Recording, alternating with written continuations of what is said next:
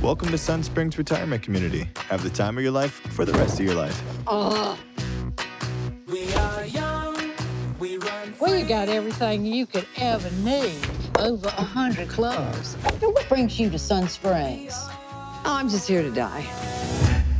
Uh huh. Hi, moving in.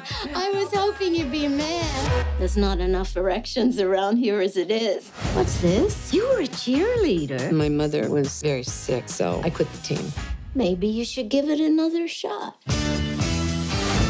We want to start a cheerleading club. Who will you be cheering for? Ourselves. Show us what you've got.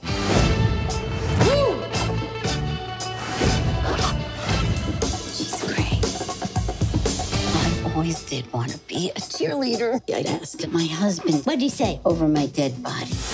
That was fast. A little too fast, if you ask me. See you at practice. A competition. Mm-hmm. Let's sign up. We could do with a little help. We want you to be our choreographer. The oldest category is 18 plus. We're 18 plus. 18 plus 50.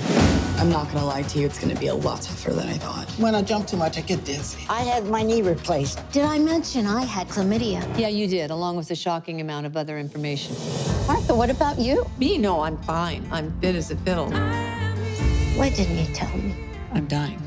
You were dying yesterday, and you're gonna be dying next week. And in the meantime, you should be dancing your ass off. You are going to humiliate yourself.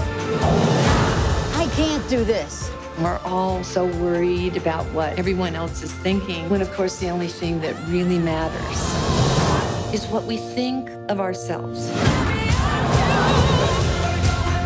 Break a hip, Get pregnant. I always wanted to date a cheerleader. Now I know you're scared. I'm scared too. But there's someone I'd rather go out there with. I've never had a grandma before, and now it's like I have eight. You're one of us now, except with higher boobies.